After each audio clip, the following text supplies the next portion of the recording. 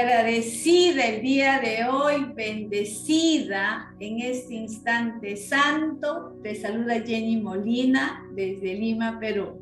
Hola, ¿qué tal? Muy buenos días desde el Estado de México. En México te saluda Terejazo, bienvenidos.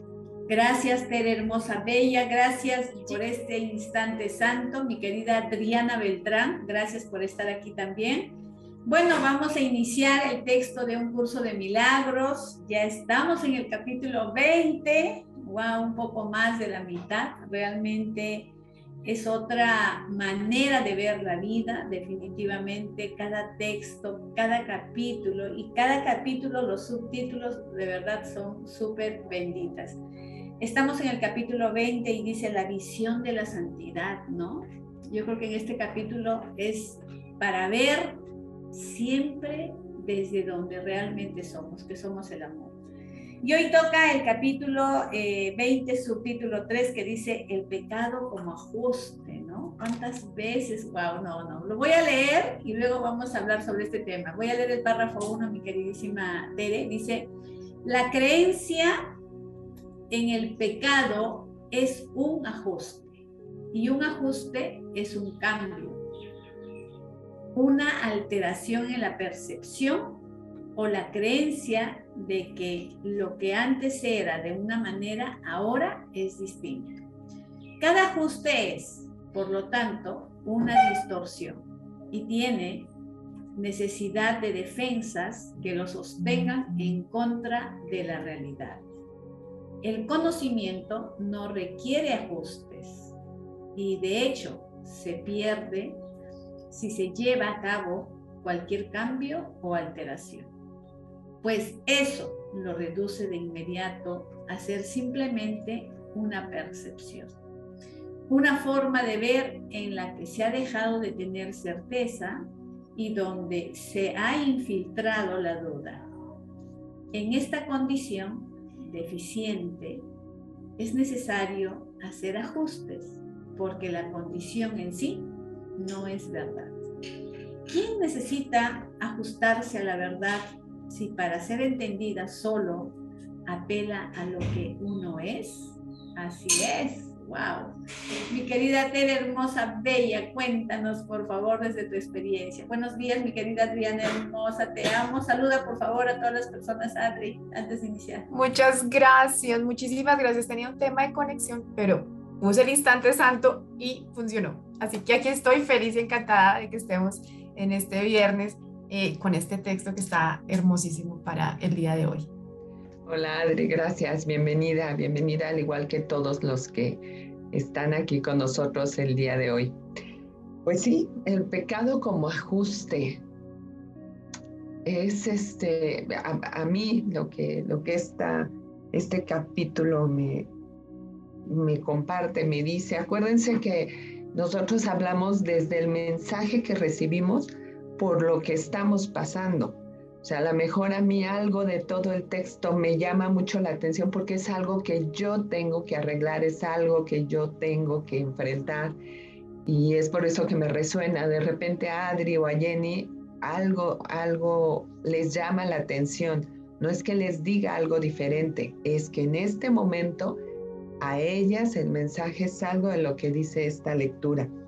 Y a mí eh, lo que me dice es que nos hemos querido ajustar tanto a este mundo, a todo lo que hemos visto, que entonces nos han dicho el, el mundo es malo, la gente es mala, hay desconfianza, cuídate, vemos las noticias, ¿no? Las noticias nos llenan y nos llenan de todo, de esa tragedia, de todo ese dolor.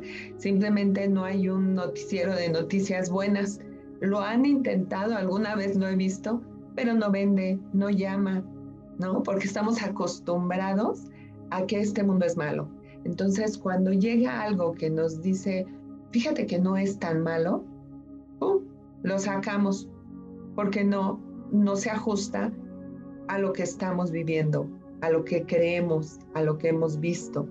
Entonces, cuando nos vuelven a decir, oh, aquí hubo un asalto y hicieron tantos desmanes, aquí hubo una violación, aquí un chofer se volteó en la camioneta por imprudente. Ahí sí nos sentimos a gusto, ahí sí estamos como pez en el agua. ¿Por qué? Porque se ajusta a mi pensamiento de pecado, de juicio, de dolor, de tragedia. Entonces vamos nadando, ¿no? Pero hacia atrás, a gusto por ese mar de dolor y creemos que eso es vivir y creemos que eso es lo correcto. Yo les digo mucho en mis clases, cuando empezamos a hablar del curso de milagros, de este cambio de percepción, todos cuando oímos un curso de milagros, venimos corriendo porque creemos que nos van a quitar la enfermedad, mi pareja se va a volver maravillosa, no voy a tener problemas con mi jefe, me van a subir el sueldo. Entonces venimos corriendo al curso de milagros a ver todo eso. ¿Y qué crees? Que no es ese el milagro. El milagro es que tú puedas vivir todo eso sin juicio, sin dolor, sin victimismo, sin tragedia, que dejes de ajustar al pecado para poder vivir en él, que, que creas que el que no exista el problema con tu jefe, ya. O sea, que más bien que tu jefe lo corran, ahí estuvo el milagro, porque mi jefe era un malvado, ¿no? No, no, no, porque te va a llegar un jefe peor. Si tú no dejas de ajustar tu mundo a lo que has creído hasta hoy, vas a seguir recibiendo esa y muchas cosas más que te van a lastimar, hasta que entiendas que detrás de esa situación hay una petición de amor para ti y para el otro, que tienes que empezar a ver que esa persona es tan inocente como tú. ¿Por qué? Porque se creyó separado de Dios, porque se creyó que esto que veían sus ojos y que ajustó a sus creencias, esa era la verdad. Y no, el milagro es que tú empieces a verte y a ver a los demás con la realidad que es que son seres inocentes, que están soñando, que están creando un mundo ahí de locura y que se la están creyendo y que aparte estás yendo con ellos. Te estás metiendo con ellos y los estás trayendo contigo a, este mundo de locura que a nadie nos gusta. O sea, lo hemos visto. ¿A poco nos ha hecho feliz lo que hasta hoy hemos vivido, hecho y pensado de los demás y de nosotros mismos?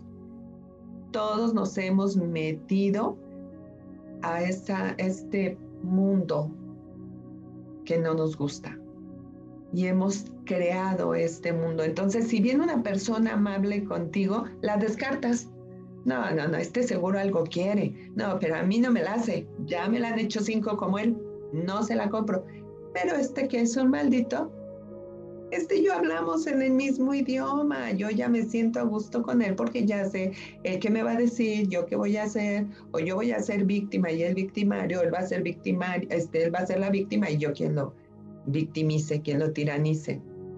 Entonces, eso es lo que, lo que parte, bueno, hay muchísimo, hay muchísimo, podemos estar aquí hablando una hora cada una, pero digo, creo que son como que parte de las ideas que, que, entiendo aquí, cómo queremos ver este mundo.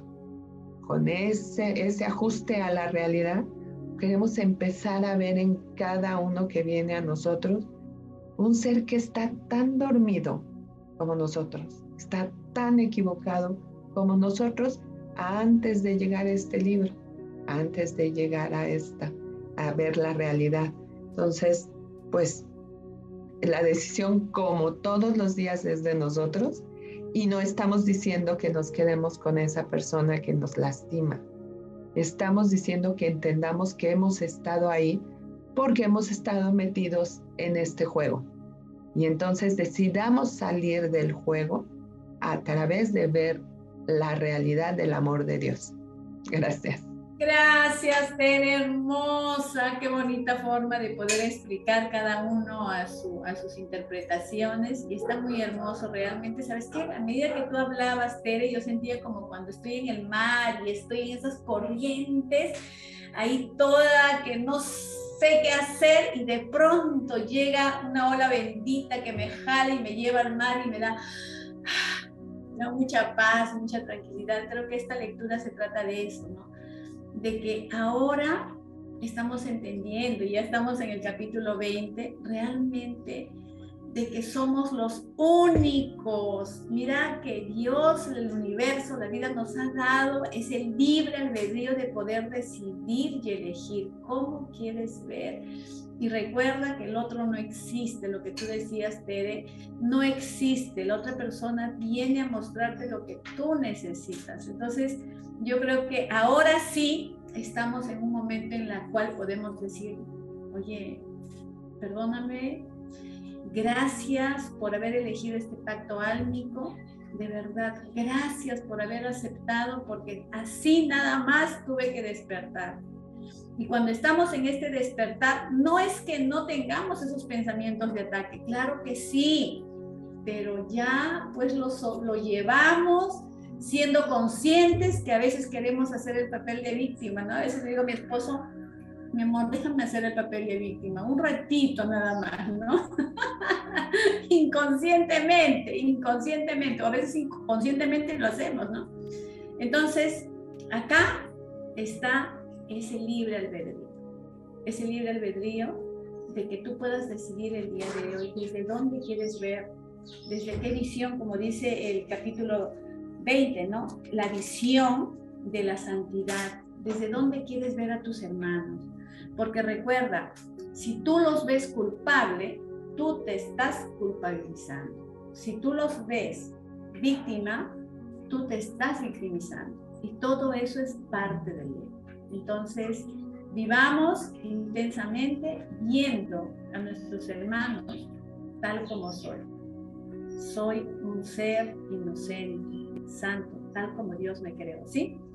primero tienes que empezar creyendo en eso en ti, por ti, ¿no? Porque hay muchas personas, santo yo, por favor. Entonces créelo. Lo que tú crees, creas y eso se convierte en tu realidad. Gracias, Tere Bella. Muy buena información. De verdad, muchas gracias por seguir despertándome y por seguir despertando a muchas personas que están el día de hoy aquí conectados. Adriana Bella, de mi corazón, cuéntanos de tu experiencia. Me gusta mucho lo que dice Tere cuando llegamos al curso de milagros, ¿no? Porque, claro, los milagros se los hemos puesto a los otros, es la voluntad del otro, es el santo que va a venir a hacerme el milagro y el curso de milagros, pues necesariamente también va a ser mis milagros. Él es el que va a hacer los milagros. Pero realmente esto es un entrenamiento mental para que tomemos responsabilidad, para que dejemos de poner todo allí fuera, ¿no? Porque efectivamente, como nos dice el día de hoy, el pecado como ajuste, nos hemos contado un guion mental, hemos establecido una historia acerca de nosotros, qué es eso que yo voy a venir a interactuar a través de mis relaciones con papá, con mamá, con mi familia. Y no sé si se han dado cuenta, pero es como si este curso empezara a ponernos en perspectiva la locura que nos hemos creído y necesariamente la proyección que hemos hecho del mundo, porque necesariamente cada persona que llega a nuestra vida, lo primero que hace automáticamente el sistema de pensamiento del ego es qué defecto tiene, qué es aquello que no me gusta. Pues sí me gusta un poquito, pero es que hay algo que le falta o algo que le sobra. Así que aquí nos viene a hablar de qué es lo que hacemos automáticamente, porque hemos hablado muchísimas veces de que es a nivel inconsciente, pero el curso ya empieza a decirte, oye, si es muy inconsciente, pero está en tu decisión, tú ya sabes que tienes los dos sistemas de pensamiento en tu mente y que tú eliges y tú decides. Por eso el milagro nadie más te lo va a hacer si tú no decides permitir que la corrección llegue. Así que necesariamente, pues el ego le ha preguntado y le hemos preguntado y hemos decidido hacerlo es, ¿quién es Dios? ¿Qué es Dios? Ese, ese, ese, ese ser que está aquí decidió creerse esta historia. Primero se la contó, entramos en el velo del olvido y necesariamente hemos llegado aquí a decir, ah, bueno, pues sí, es verdad, yo tengo que adaptarme a este mundo. Así que Jesús nos pregunta el día de hoy, ¿te gusta lo que has fabricado? Y acordémonos que el fabricado nada tiene que ver con la creación ¿Qué son estas fabricaciones tuyas? Porque tú te contaste esta historia, le has dado verdad y todas las relaciones, como decía Terry, decía Jerry, que llegan a nuestras vidas, pues es aquello que hemos pedido. Este que sí me cuadra o no me cuadra, pero no, yo me sigo quedando con aquel sistema de creencias y pensamientos que sigo manteniendo. Y eso es lo que el ego quiere, que sigamos guardando allí esos secretos, ¿no? Eso tan macabro, eso que le pusimos, ese papel que le pusimos a papá, a mamá, y que en la medida en que yo lo siga guardando, pues voy a seguir obteniendo más de lo mismo y el curso nos sirve y el Espíritu Santo nos sirve. Así que esta es la invitación a que empecemos a darnos cuenta de la enfermiza elección que estamos haciendo en cada instante. Y no nos gusta, el curso no nos gusta porque nos dice esto que el ego no le corresponde. El ego estamos aquí viviendo en su mundo, en su proyección, así que a él no le gusta ese sistema de pensamiento que viene a mostrar la luz que sí somos. Por esta razón viene a preguntarnos Jesús, ¿qué es aquello que estás ajustando? El conocimiento no necesita ajuste, el conocimiento tú ya lo eres, pero te has contado una historia de un personaje que te niega totalmente. ¿Cómo? A través de nuestras relaciones. Ese es el punto central que nos va a dar como indicador, porque el ego tomó las relaciones como punto y nos, y nos viene aquí en esta guerra y en esta lucha, como decía Tere, un noticiero bueno no existe, porque claro, estamos eligiendo desde el ego pero seguramente si empezamos a instaurar todo este PNL que nos da el curso de milagros, todo, todo este paraíso que sí está en nosotros, pues vamos a poder efectivamente, se nos dice en la primera parte del libro, vamos a poder poner los obstáculos a un lado. Y eso se encarga el curso si nosotros decidimos. Siempre tenemos esta posibilidad de elegir y esa es nuestra libertad, liberarnos de esas cadenas del pasado que existen en nuestras mentes. No hay una fuera donde tenga que arreglar es dentro de cada una de nuestras mentes y sistemas de pensamiento donde tenemos esta gran posibilidad en cada instante.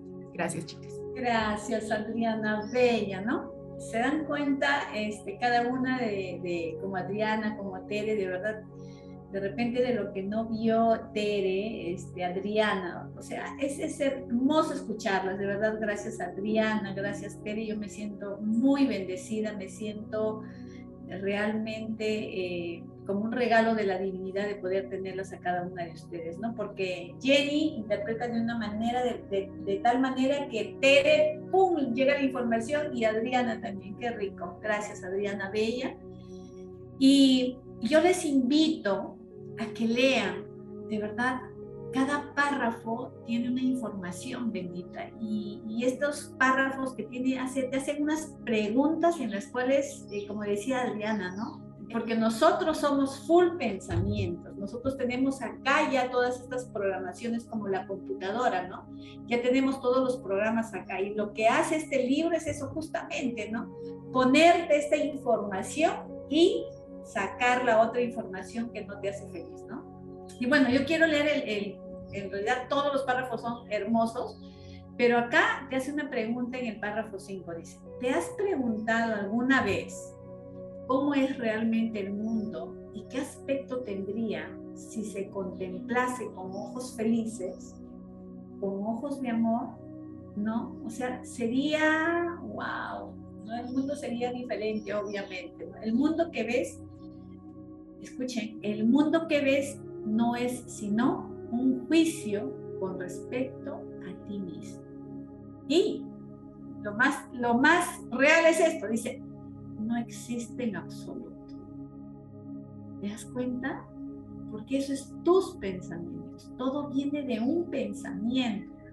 Por eso es que todos los días en este desayuno mental lo que hacemos es hablar con tu subconsciente, con tus pensamientos, con esas informaciones. Mira que ya tenemos haciendo esto dos años aproximadamente, ¿no?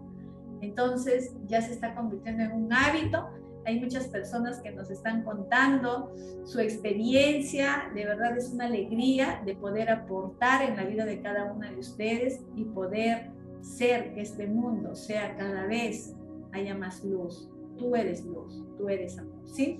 Muy bien, eh, yo les invito a que lean de verdad, cada párrafo está hermoso, léanlo, léanlo, léanlo, les va a ayudar mucho porque como decía Tere a un inicio, cada lectura te va a llegar a ti en el momento perfecto, por alguna razón. Nada es casualidad, absolutamente nada. Ni siquiera de que estés aquí, nada es casualidad, todo pasa por algo. Yo siempre digo, si tú estás aquí es porque en algún, en algún momento dijiste, quiero ver mi vida de otra manera, quiero otra manera de ver. Ya me cansé. Espíritu Santo, Dios, muéstrame. Requiero vivir en paz. Te llegó este curso de milagros, sin duda, ¿sí? Muy bien, vamos a cerrar este espacio. Mi querida Tere, hermosa tus palabras de cierre. Justamente el fin de semana estuve en un hermosísimo curso de un dificultador, dice el del curso de milagros de Martín Merayo, que este, sí, vaciadísimo, muy bueno. La verdad es que, miren, vamos encontrando a las personas, a los facilitadores, que necesitamos para, para entender algo que no nos había quedado claro. Cada uno tiene su estilo. Yo quiero muchísimo a Moz, a Marta también. O sea, y este, y bueno, él, él, tiene, Martín tiene una manera de llevar el curso tan ligera también, pero muy estructurada, ¿no? El uno, dos, tres, cuatro y, lo estructura. Moss lo va hablando y le va saliendo y, va uniéndose a algo.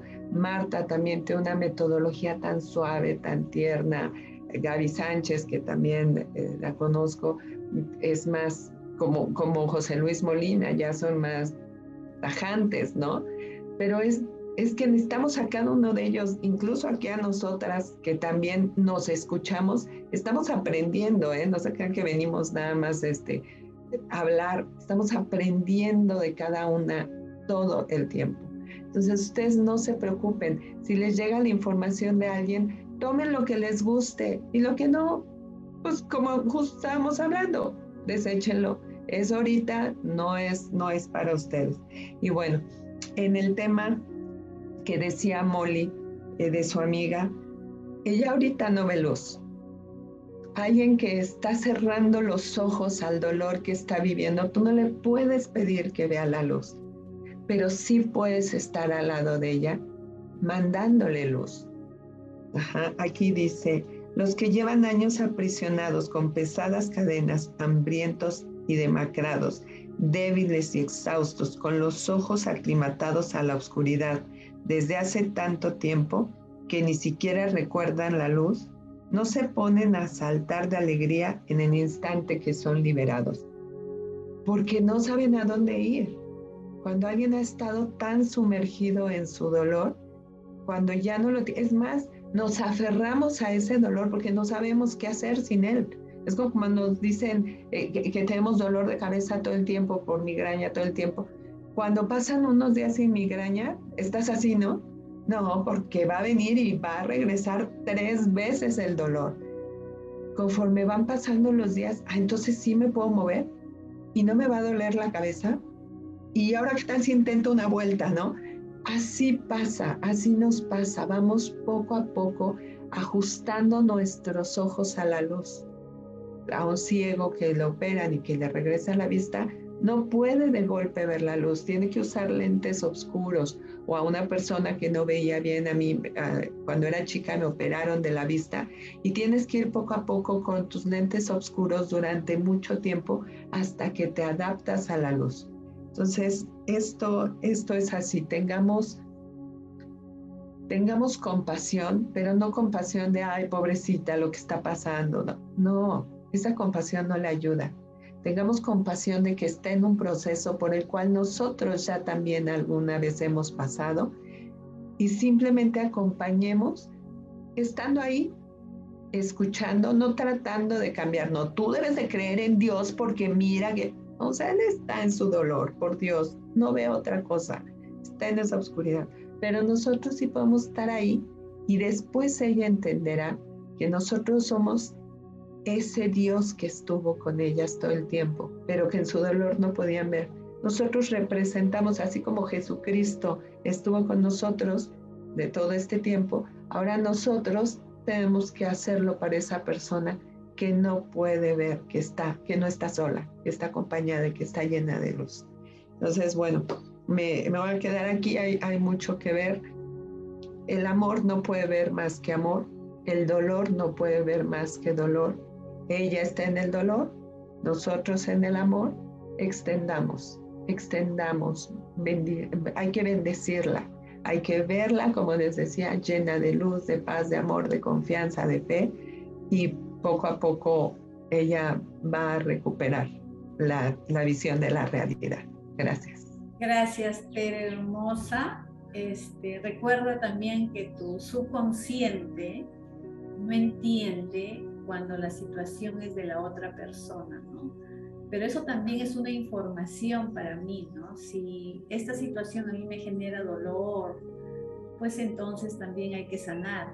O sea, nada es casualidad. Ningún tema que está afuera está, es de afuera. Todo está en mí. ¿Sí? Entonces, es bonito ver desde ahí porque eh, escuchando el caso de Molly o leyendo el caso de Molly, de, de Molly, yo me preguntaba, ¿no? Yo decía, ¿qué hay en mí que estoy escuchando esto, ¿no? Entonces me vino gratitud, gratitud total. Yo decía, Dios mío, gracias, gracias, gracias, gracias por tener una pareja, gracias. Siento que valoro más a mi pareja, gracias, gracias, gracias, y mejorar en que estoy fallando. O sea, siempre me llega la información para mí. ¿no? Entonces, gracias Molly, porque gracias también Tere, porque definitivamente si hay dolor en ti, es que te vas a sumar a ese dolor. Pero si ya estás en un proceso de despertar, pues entonces ya no va a haber ese dolor, sino va a haber gratitud, va a haber esa compasión, esa compasión de decir, ¿no? Te envío luz, tú no eres eso, tú eres amor, tú eres paz. Es bonito. Gracias, Tere Bella. Adriana, tus palabras de cierre de esta bendita lectura. Bueno, eh, sí, efectivamente se nos pone esta situación que todos hemos experimentado y, claro que, que, es ese, ese extrañar, ¿no? Y obviamente que aquí no hay palabras, en este momento cualquier palabra que te digamos o le digamos a la persona, pues realmente va a ser no, no va a ocasionar ningún consuelo, a no ser que efectivamente empecemos a verlo desde otro punto, ¿no? Realmente se nos hablan desde diferentes puntos, que es aquello que trasciende, ¿no? Cuando ya no observamos ese cuerpo que está con nosotros y que realmente lo que extrañamos, ¿qué extrañamos? El objeto de mi apego, el objeto de mi amor, el objeto de aquello que yo tenía tan cercano a mí y qué es eso lo que estamos extrañando cuando empezamos a comprender que esta es una densidad física, pero que necesariamente siempre estamos unidos en aquello que sí nos podemos unir, que es en la mente. Y esa invitación siempre nos la ha hecho Jesús. Aquietate, deja que tu cuerpo, libérate y efectivamente en la mente siempre vamos a estar unidos y siempre somos eternos. Así que nuestros hermanos aquellos que han dejado este cuerpo por la razón que sea, porque ya terminaron por las razones no las conocemos y por eso como no sabemos y ya sabemos que no sabemos, no podemos empezar a decir, bueno, pero ¿por qué se fue? Y hay muchísimos sentimientos que quedan alojados en cada uno de nuestro inconsciente, como tú decías, y es aquello que me está torturando, si le dije o no lo hice, si lo hice o no lo hice, si qué fue aquello que quedó pendiente desde mí con esa persona o ese ser que trascendió. Así que necesariamente todos esos juicios que nos estamos haciendo, pues necesariamente nos estamos crucificando, ¿no? Estamos poniendo los clavos, estamos poniendo la corona de espinas cada vez que nos permitimos ir a juzgarnos a nosotros mismos por aquello que hice o no hice y por toda esa culpa que necesariamente automáticamente va a ir a buscar el sistema de pensamiento del ego. El día de hoy, fíjate que te lo pone aquí, él parecía estar crucificado a tu lado. Entonces, esta es la invitación para que tú decidas liberar a tu hermano, porque en la medida en que tú lo liberes y le quites esa cruz, le quites esa, esa, esa corona de espinas, y se nos hablaba en estos días de la corona de espinas o la de azucenas, que es aquello que tú quieres experimentar porque necesariamente a través de la expiación vamos a poder bajarlos de la cruz y vamos a poder entregar todo aquello que tengo yo allí guardado y puede ser una gran oportunidad para sanar. Y hay algo que yo aprendí de, de, de mi trascendencia, de la trascendencia que yo viví hace un año, y es que esa es una oportunidad para perdonar y es una oportunidad para sanar y es una oportunidad para darte cuenta que es aquello que no has perdonado, que no le has entregado la luz, porque nosotros no perdonamos, entregamos a la luz para trascender. Es un momento donde, bueno, efectivamente te acompañamos de la luz, desde la luz, pero también decirte que tú puedes elegir y permítete llorar, permítete vivir tu duelo, permítete sacar toda esa emoción. Es importante también hacerlo permitirte sentir. Y efectivamente eso va a hacer que lo puedas trascender de la manera que consideres más adecuada. Un gran abrazo para Molly y para las personas que nos acompañaron el día de hoy. Muchas gracias, Adriana Bella. de verdad, gracias, gracias, tal cual. Y voy a leer el último párrafo porque Mori nos dice, por favor, respondan esta pregunta, ¿no? Te voy a leer este último párrafo para que tú puedas entender esta, esta respuesta. Dice, en tu, en hermano se encuentra la luz de la eterna promesa de inmortalidad que Dios te hizo. No veas el pecado en mí. El miedo no podrá apoderarse de ti. ¿De acuerdo? ¿Sí? Entonces, si tú ves afuera el dolor, se va a apoderar de ti el dolor. Si tú ves afuera el amor, se va a apoderar de ti el amor. Así es que vamos a ver el amor, somos amor, somos amor. Créelo, siéntelo, vive y lo vas a experimentar. ¿sí? Muchas gracias por estar aquí, gracias Adriana, gracias Tere, gracias a cada una de ustedes, a cada uno de ustedes por estar en este instante santo.